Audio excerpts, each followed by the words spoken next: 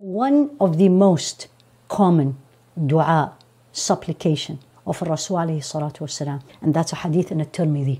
What did Rasul alayhi salatu wasalam, what was his most common supplication? So they asked her, Umm Salama, his wife, what did he ask Allah for?